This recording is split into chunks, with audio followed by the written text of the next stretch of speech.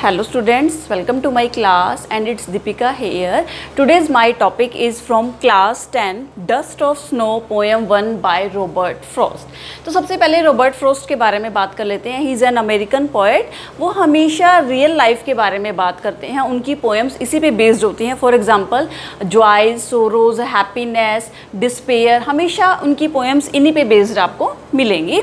Poem की theme के बारे में बात कर लेते हैं। पोएम की थीम क्या है? पोएम की थीम ये है कि हमें कभी भी किसी भी चीज़ को फॉर ग्रांटेड नहीं लेना है।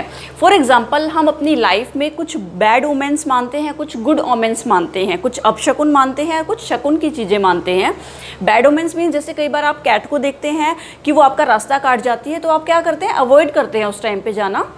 लेकिन कोई भी चीज़ फॉर ग्रांटेड नहीं लेनी है, क्योंकि कई बार ये बैड ओमेंस ही हमारे लिए गुड ओमेंस प्रूव होते हैं। The same case is here in the poem here a bird crow proves to be a good omen whether it is always thought to be a bad omen कई बार crow को लोग मानते हैं कि वो बैड ओमेन है, लेकिन इस पोएम में वो गुड ओमेन साबित होता है।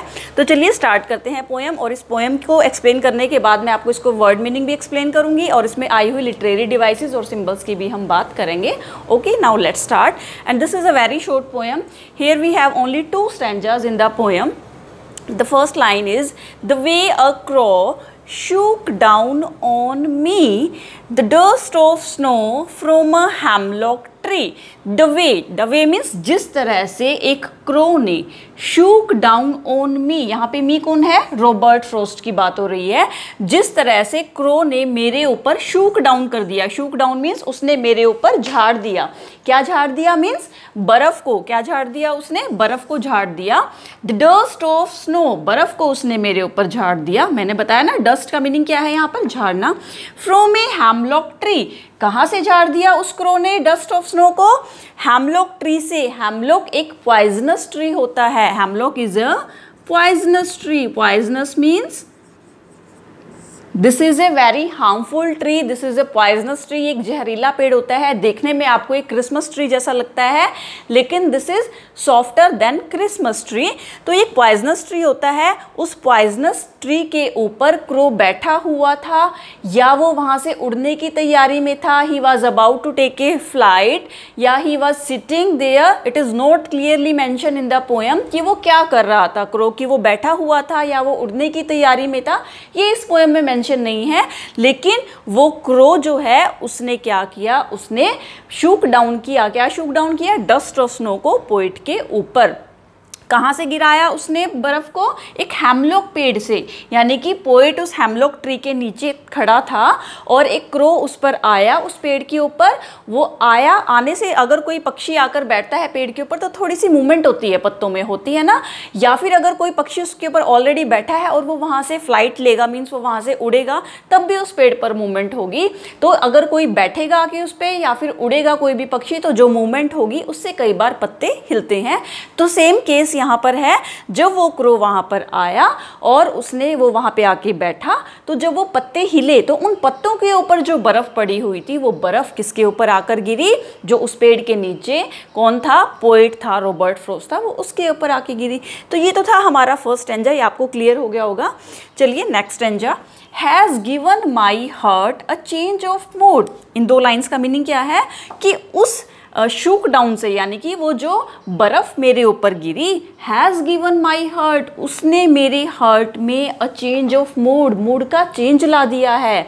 मीन्स मेरा मूड अब पहले जैसा नहीं है, मेरा मूड अब चेंज हो सक चेंज हो चुका है। And saved some part of a day I had rued rued means किसी भी चीज़ के ऊपर रिपेंट करना मीन्स पछताना। तो पोइट क्या कहना चाहता है यहाँ पर? तो देख लीजिए रिड मीन्स रिपेंड तो पोइट कहना चाहता है कि मेरा जो डे था, अब वो क्या हो गया है? सेव्ड सम पार्ट मेरा दिन खराब होने से बच गया। पोइट अभी तक रीड कर रहा था रिपेंट कर रहा था, वो पछता रहा था कि मेरा पूरा दिन आज खराब है।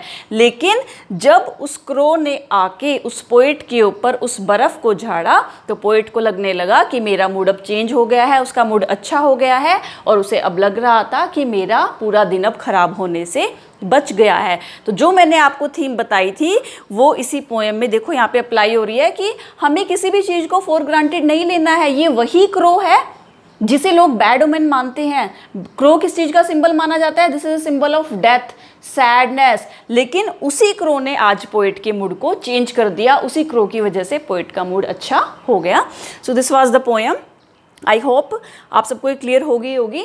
तो चलिए हम इसमें से कुछ सिंबल्स देख लेते हैं। इस पोएम में क्या क्या सिंबल्स आए हैं? This is a symbolic poem crow and the hemlock crow और हेमलॉक ट्री ये किस चीज़ का सिंबल है? सिंबल ऑफ़ सोरो क्योंकि क्रो को भी बैड ओमेन माना जाता है और हेमलॉक ट्री पॉइजनस ट्री है सो इसे भी बैड ओमेन माना जाता है। तो ये दोनों ही किस चीज़ का सिंबल है? They are symbols of sorrow next symbol is the dust of snow dust of snow को सिंबल माना गया है डेथ का। डेथ या फिर इनर्शिया इनर्शिया मीन्स जड़ता।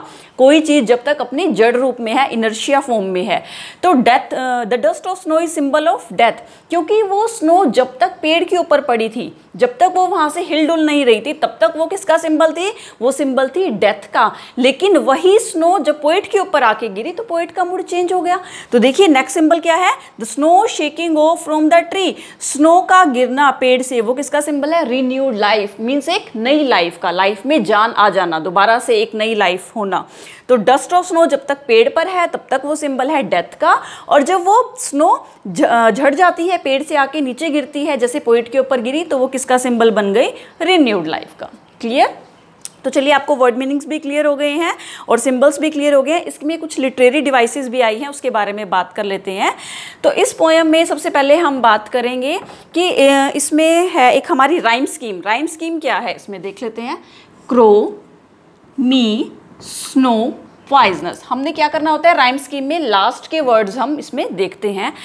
Crow and snow they are similar sound words तो हम इसे क्या नाम दे देंगे? ए क्या नाम दिया जाएगा इसे? ए मी एंड ट्री तो इसे हम क्या नाम दे देंगे? बी क्या हो जाएगा? ये हमारा बी हमने क्या करना होता है राइम स्कीम में? हम अपने लास्ट के वर्ड्स देखते हैं। तो जो भी पेयर मैच हो रहा होता है, उसे हम सिमिलर अपना एक लेटर दे देते हैं, जैसे ए ए और बी बी नेक्स्ट एंजा की राइम स्कीम देख लेते हैं। ये सेम भी हो सकती है डिफरेंट भी हो सकती है। हार्ट किसके साथ मैच हो रहा है? पार्ट के साथ।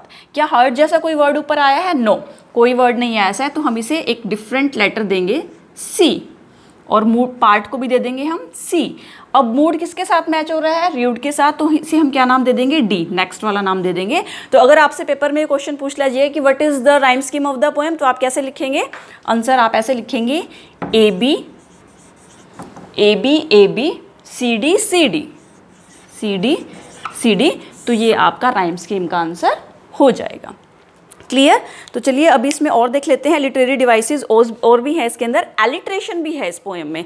एलिट्रेशन क्या है? एलिट्रेशन होता है जब सेम लेटर रिपीट होता है, उसे हम एलिट्रेशन कहते हैं। फॉर एग्ज़ाम्पल इस वाली लाइन में देखिए। हैज़ हर्ट यानी कि सेम कॉन्सोनेंट साउंड जब रिपीट हो रही है। ह ह। ह की साउंड रिपीट हो रही है। हैज़ में भी ह और हर्ट में भी हो। इसमें ऑल दो वैसे काफ़ी डिफरेंस है बीच में, लेकिन फिर भी यहाँ पे एलिट्रेशन हमें देखने को मिल रही है। तो इसमें एक डिवाइस कौन सी है? एलिट्रेशन इसे हम क्या बोलते हैं? एलिट्रेशन जब सेम कॉन्सोनेंट साउंड आ जाती है एक ही लाइन में, ठीक है? नियर बाय भी हो सकती है या उसमें कुछ गैप भी हो सकता है, उसे हम बोलते हैं एलिट्रेशन बोलते हैं। नेक्स्ट है इसमें कॉन्सोनेंस कॉन्सोनेंस क्या होता है? कॉन्सोनेंस आपको देखने में लगेगा कि कॉन्सोनेंट जैसा ही है, जैसे कॉन्सोनेंट साउंड्स होती हैं, हमारी कॉन्सोनेंट वर्ड्स होते हैं तो इसमें हम में हमारी कॉन्सोनेंस क्या है? लास्ट एंजा में ही है। डे हैड र्यूड कॉन्सोनेंस क्या होता है? जब सेम साउंड एक ही जगह रिपीट ना होकर वर्ड में अलग अलग जगह रिपीट होती है। फॉर एग्ज़ाम्पल किसी वर्ड के स्टार्टिंग में, किसी वर्ड के मिडल में, या किसी वर्ड के लास्ट में जब वो साउंड होती है, तब हम उसे कॉन्सोनेंस कहते हैं। फॉर एग्ज़ाम्पल यहाँ पर साउंड आ रही है ड, डे में हैड इसमें भी ड की साउंड आ रही है लास्ट में, डे में स्टार्टिंग में आई हैड में लास्ट में, और रीड में भी लास्ट में तो ये हो जाता है हमारा कॉन्सोनेंस और लास्ट है हमारा एक लिटरेरी डिवाइस है, वो है एंजैबमेंट एंजैबमेंट क्या होता है? एंजेबमेंट जैसे स्टेंजा में देख लेते हैं हमें एंजेबमेंट क्या है? ये जो लाइंस चल रही हैं has given my heart a change of mood and saved some part यहाँ तक ये पूरी एक ही लाइन चल रही है मीन्स यहाँ पे कोई भी पंक्चुएशन मार्क यूज़ नहीं हुआ है, और ये पंक्चुएशन मार्क लास्ट में जाके यूज़ हुआ है। तो जब इस तरह से कुछ लाइन्स चलती रहती हैं और पंक्चुएशन मार्क लास्ट में जाके यूज़ होता है, उसे हम क्या बोलते हैं? Enjambment this is called enjambment so you should have knowledge of these literary devices. This is very important for you. So this was the poem dust of snow. I hope you all have understood it well. So do subscribe this channel and write in the comment box also that did you like this video? And uh, okay bye. Thank you. Take care